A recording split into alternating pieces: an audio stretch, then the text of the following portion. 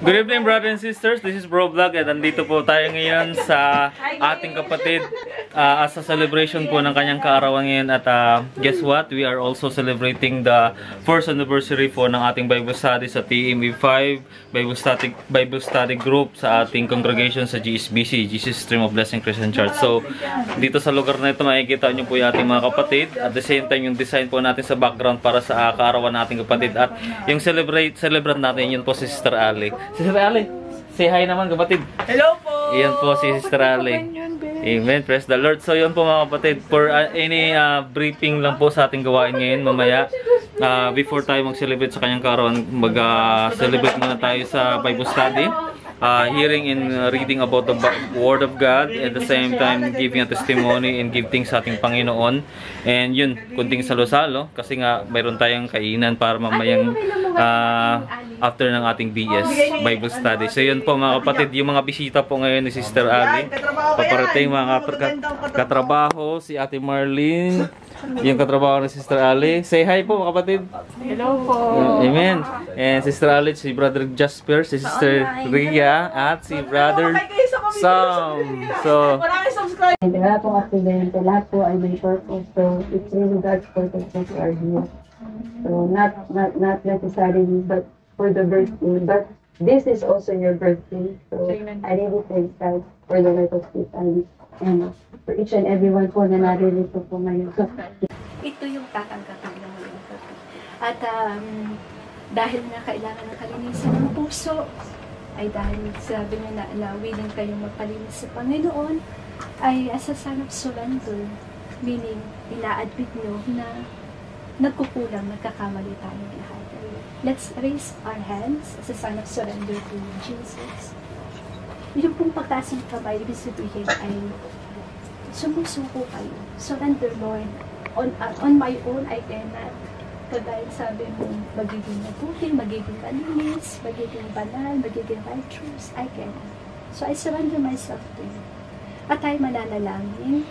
Ang kininyo itong personal ng panalangin sa harapan ng Panginoong Jesus na nasa ating kalagitnaan. Ate Estri, Ate Nora, mula sa iyong puso, sabihin mo sa panalangin, Panginoong Diyos, Panginoon Diyos, na nasa langit, nasa langit. salamat po. Salamat. Sa sandaling ito. Sa sandaling na ako'y tinawag mo. Na ako'y tinawag. Very special. Very special. Sa aking pangalan. Sa aking pangalan. At nagpapakilala ka. at ipapakilala ka. Salamat po. Salamat. Sa araw na ito. Sa araw na ito. At ito at ito. ang magiging simula ng aking totoong buhay.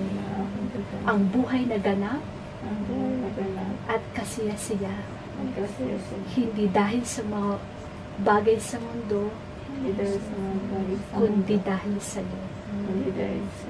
Inaamin ko po at inaalala lahat ng aking mga naging pagkukulang, lahat ng aking pagkukulang naging kasalanan mga mula nung ako'y bata pa hanggang ngayon.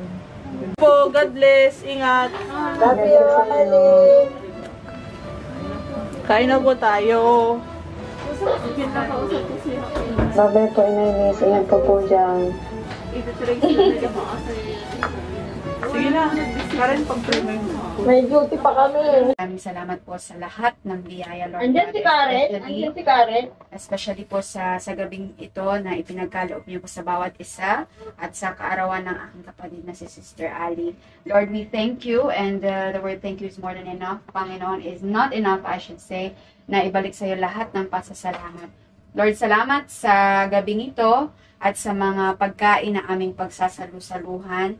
Ah, biyaya, ibalik niyo po sa, ng biyaya sa mga nag-prepare, sa mga nagpagod, Lord God. Salamat po sa kanilang mga buhay.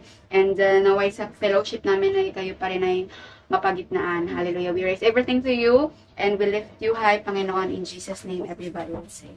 Amen Amen. Praise the Lord, brothers and sisters. So yun po, no, nakita nyo, nasaksihan nyo po yung pagtanggap ng ating mga kapatid para sa ating Panginoon si Lord Jesus Christ for receive the grace and mercy and the salvation that give from the Lord Jesus Christ. So, to God be glory po mga kapatid. Very successful po yung ating anniversary even though na mayroon po technical difficulties. But here we are gathered in the presence of the Lord because this gathering is all about Lord Jesus Christ. At ang pagsasaulog ng ating ik- ikaunang anniversary sa gawain ng TME5.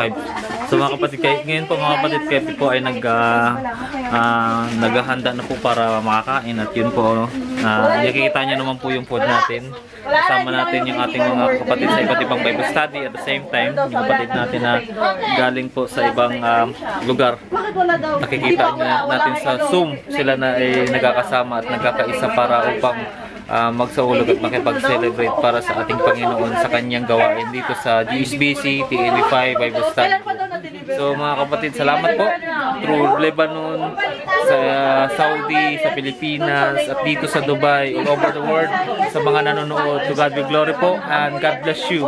Happy birthday Sister Ali. To God be glory and pagpalain ka ng Panginoon natin. Ano. Okay na po. Sabay-sabay sa babango. Sister